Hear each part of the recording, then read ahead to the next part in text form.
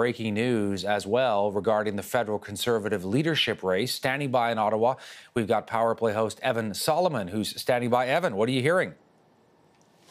Yeah, uh, sources telling me that the man who was widely considered one of the frontrunners in the conservative leadership race, Pierre Poilievre, will make an announcement very shortly that he is not going to run for the conservative leadership race. This is stunning news because just yesterday, Rona Ambrose, another putative frontrunner, said she was not going to run, and everyone thought it was going to be uh, Peter MacKay versus Pierre Poilievre.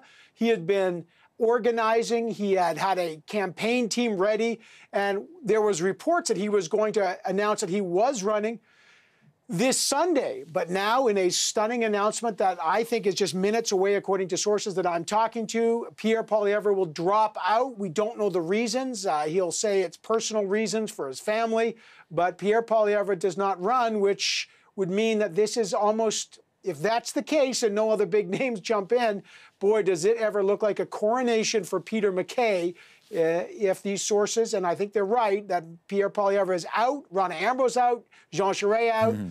Boy, smooth sailing for Peter MacKay. Yeah, so let's talk about that. Those three heavy hitters, all three of them sort of in succession. And you were covering it on Power Play. Jean Charest, no thanks. Uh, Rona Ambrose, no thanks. Now Pierre Poilievre, no thanks, uh, which, which, you know, leaves Erin O'Toole, uh, Marilyn Gladu, uh, and of course the heavy hitter here, Peter MacKay. Yeah, it's really stunning. I mean, what a week this race has totally changed. Jean Charest was supposed to be in, then he was out.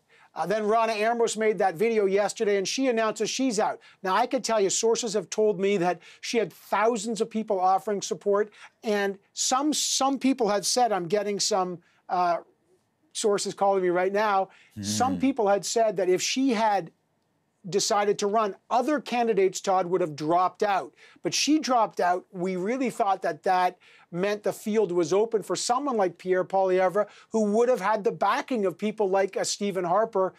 But apparently today, sources telling me he will announce he is not going to run and that means the field is radically changed. And we'll cover this tonight on Power Play right at the top of the program. But it's pretty remarkable news how this race in the last 72 hours has dramatically shifted over. Yeah, and I was watching your show, Evan, on, on Thursday when you had, you know, Bob Fife with you right at the top of the show, and you were talking about this, and Fife was saying, you know, this is now getting closer and closer, you know, toward a, a bit of a coronation for Peter MacKay. Uh, what's your read?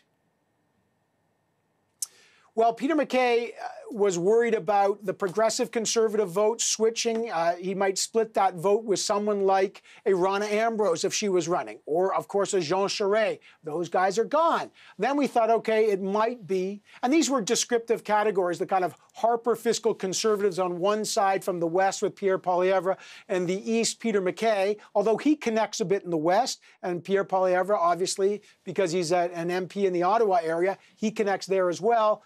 But now this radically transforms it. And now, unless Erin O'Toole gets traction, mm. and he's going to be fishing in the same pond as Peter MacKay, Ontario progressive conservative, Marilyn Gladu, well, boy, uh, you got to wonder if this is not just for Peter MacKay, as you said, a coronation. All right. I know you got to get ready for your show, Evan, but thank you so much for coming on here. Appreciate it. Thank you, Todd.